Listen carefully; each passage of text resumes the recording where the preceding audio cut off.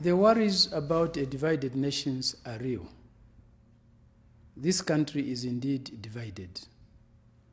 But it's not so much on the things people are so worried about the issue of tribe, the issue of region.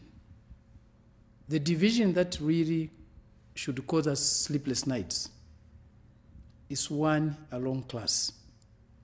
They have and they have nots. That's the division that should really worry us. The tribe, the regionalism, is easy to deal with it because it's much more of an imaginary thing and a political issue that can easily be resolved.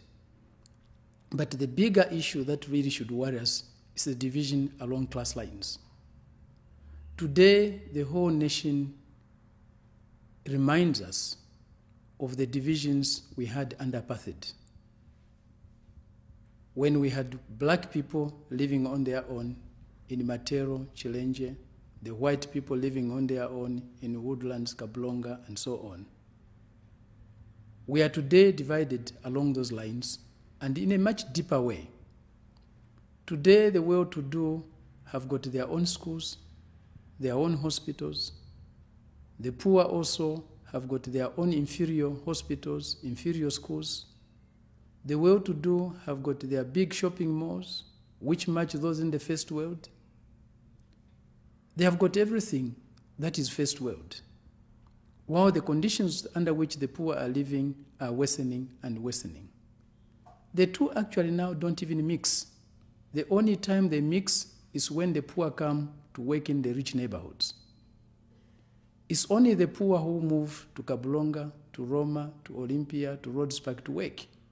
The rich don't go to Kanyama, to Zingalume, to Chazanga, to Chipata compound, to Mandevu to work. They don't go there. The flow is only in one direction. The poor work for the well to do. The well to do don't work for the poor. Even churches today, you have got nice churches in the rich neighborhoods. On Sunday, they are surrounded, the churches are surrounded by many cars.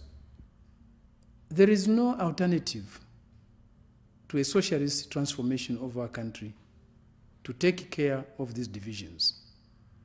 As long as we continue on this capitalist path, the divisions will deepen.